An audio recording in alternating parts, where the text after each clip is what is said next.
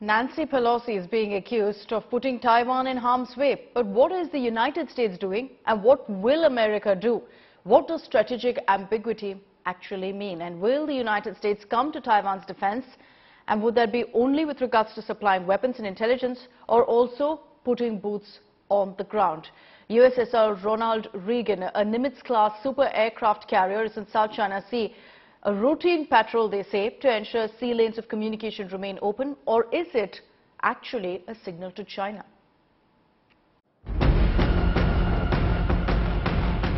USS Ronald Reagan, Nimitz-class aircraft carrier, somewhere east of Taiwan in the South China Sea.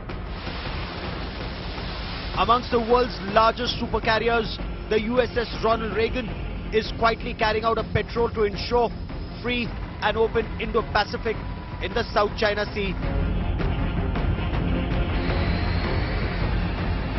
As China begins four days of live fire exercises after having surrounded Taiwan from six sides, including firing ballistic missiles, the US carrier battle group is watching from a distance as it carries out a patrol in the Philippine Sea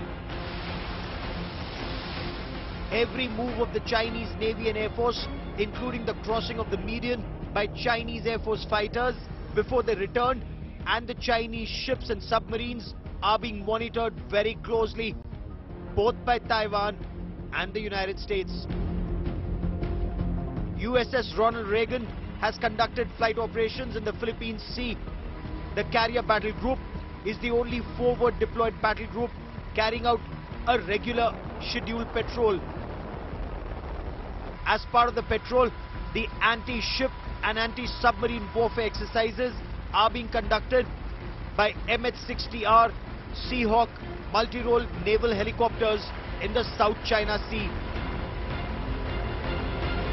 Amphibious assault ship Tripoli is also a part of the US Navy's 7th Fleet that is operating along with guided missile cruiser USS Chancellorsville. These warships have been sailing through the South China Sea in the past 24 hours to show complete sea control and dominance, ensuring free and open Indo-Pacific. Fueling at sea operations are also being undertaken.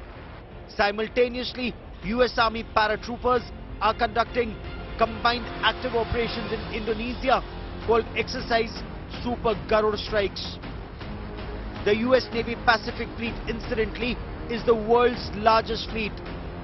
USS Abraham Lincoln, the second aircraft carrier part of the Pacific Fleet, is sailing in formation as part of RIMPAC 2022 exercises where 26 nations are participating with 38 ships and 170 aircraft in a massive show of joint operations and to test interoperability.